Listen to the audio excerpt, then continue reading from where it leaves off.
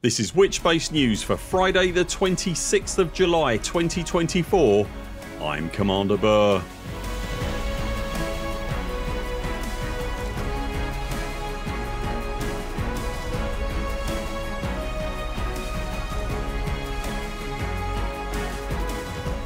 In Elite Dangerous news this week Alec Turner invites you to a subtle mob at this year's ECM. There's an excellent blog with tips and tricks for exploring commanders. Multiple new ships arrive next month in Elite Dangerous and more. If you enjoy our videos consider subscribing to the channel and remember to ding the little bell to make sure you see all our content and community posts and if you'd like to help support the channel links to our Patreon and everything else are in the description below. We start this week with a quick update on the current progress in the Thargoid War.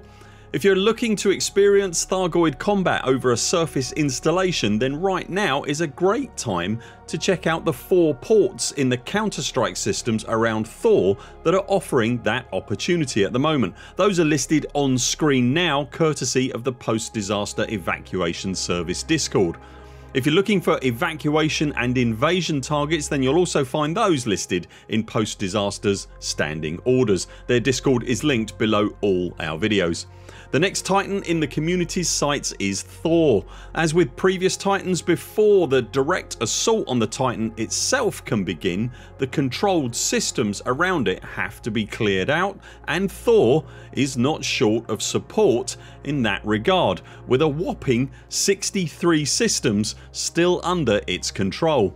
We're likely looking at another 2 to 3 weeks at least until that attack begins in earnest. All indications are at the moment that the Thargoid war, certainly in its current form, will be over long before the end of the year. We featured the exploration blogging of Commander Homborger on this channel before and the good commander is back again this week with another entry journaling their ongoing adventures in the deep black.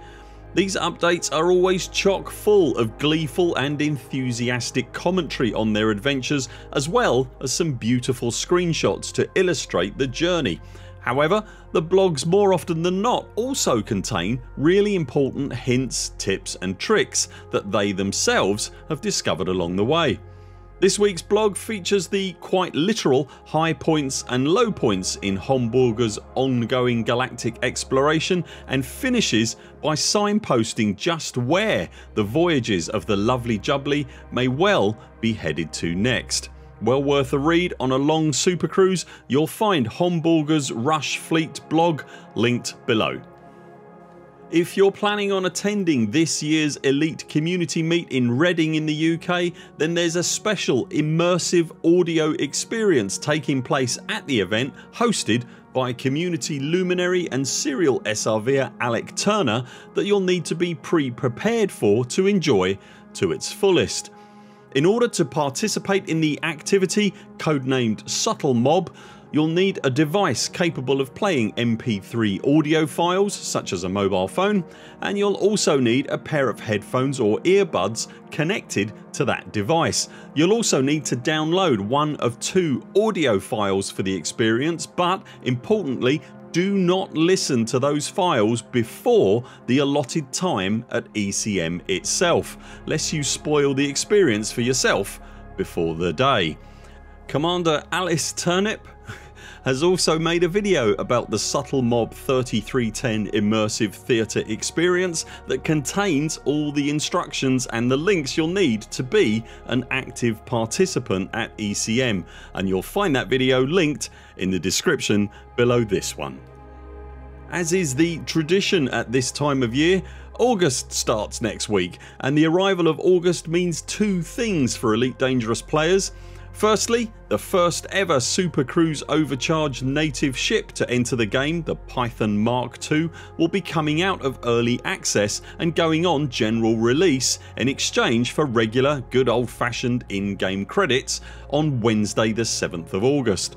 The Python Mark II features no less than 6 utility slots, 2 medium hardpoints and 4 large hardpoints as well as one class 2, one class 3, one class 4 and one class 6 compartment as I mentioned it's been built with Super Cruise overcharge in mind from the ground up so it flies very differently in Super Cruise overcharge than its non SCO enabled stablemates and also doesn't generate anywhere near the heat or fuel consumption problems of those ships. It will get you to the fight in hilariously quick time and then, especially when suitably engineered, more than handle whatever is thrown at it when it gets there.